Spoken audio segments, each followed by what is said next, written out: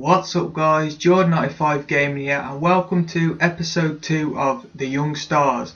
This is the series where we go through young players, young prospects around the world and uh, do a little video about them looking at their game, uh, their in-game stats on FIFA and also their real life performances etc.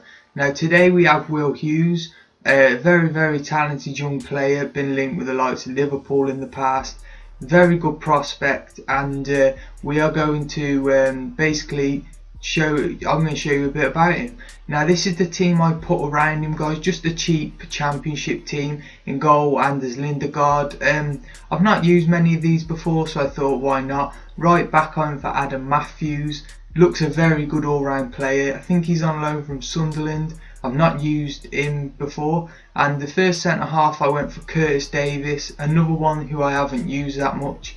Uh, I've used him once maybe I think. Uh, alongside him I've gone for Manga, the Gam Gabon international. Uh, looks a very solid card to be honest. Left back we've gone for Jokic who is the only gold left back in the championship I believe but he's got very very good stats and uh, in the midfield with Will Hughes we have uh, Alex Lopez, a good all-round player for the price, and uh, Gaston Ramirez as well, another player, non-rare, who's very, very good in the championship. I'd recommend picking up all of these guys. Right mid, I went for Odemwingie, just because I've never used Odemwingie, so I thought, why not? Let's try him out.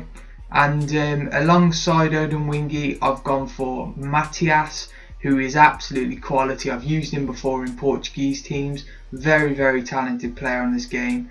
And up top, we've gone for Abel Hernandez, who is perhaps one of my favourite sort of strikers on the game. Uh, he's world class on here, and I, I love him, and he's he's really good. So, guys, Will Hughes.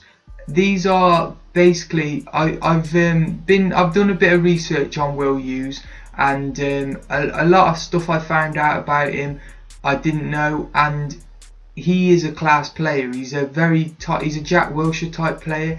Here are a few, a little bit of like background information on him.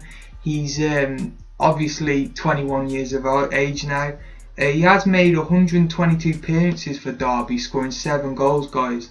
Um, his breakthrough season was in 2011. He, uh, as I said before, he has attracted the likes of Liverpool and interest of big clubs in the Premier League. He's described as a flair player, so he is a bit of a Jack Wilshere type player. That's who I always compare him to, the way he plays. He's had a very poor season though, guys, this season. These are some of the clips, by the way, guys, I managed to get with him.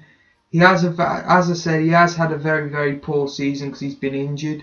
But he is currently playing for the England under 21, so he might make an appearance in that tournament. He has scored 17, uh, two goals, making 17 appearances for the England under 21s and he, his play style has been also um, compared with the likes of Xavi and Iniesta. But as I say, he has been injured most of this season, so we haven't seen the best of Will Hughes this season.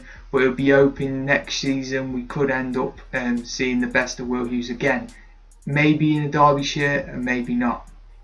So, guys, uh, as you that, thanks for watching. Um, hopefully, you want to see more of this, and I'll see you soon, guys. Bye.